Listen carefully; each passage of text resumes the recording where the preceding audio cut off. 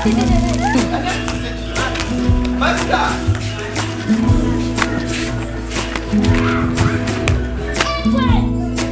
Bukesa Children's Home is a family made up of kids from all over Uganda. Although each of their stories are unique, each of them come from impoverished circumstances, and most have lost their families.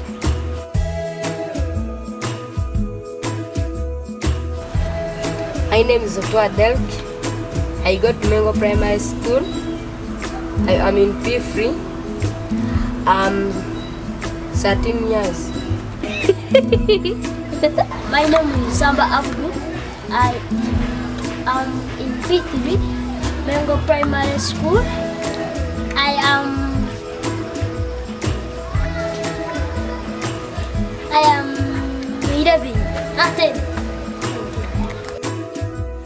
The home provides food, clean water, clothes, medical treatment, and the chance to go to school.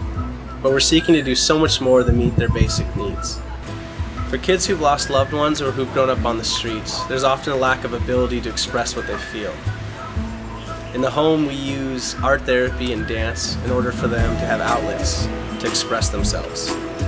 What's truly amazing has been to watch the way that art and dance have gone from just activities that they do to being some of their favorite things.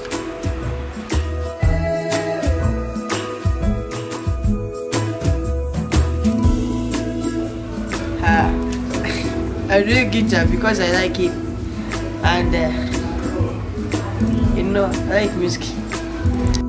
Through their artwork, the kids get to tell their own story. And we get to be a part of sharing their story by using their artwork to raise support for the home. Combining it with work from artists around our own community, we get to see what's the same in all of us. I know this this uh, actually this is a, a, a meal for somebody.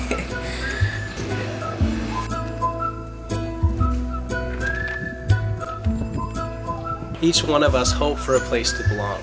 Through our relationships and our families, we build a place to call home. Despite what they've seen, there's such a joy in the children at Bethesda.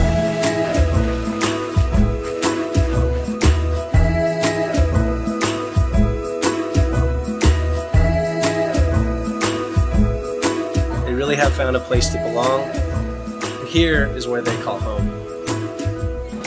I wish if I had something to give them, I would, but uh, I want to tell them that I want to thank them for everything they've done for us. Hmm?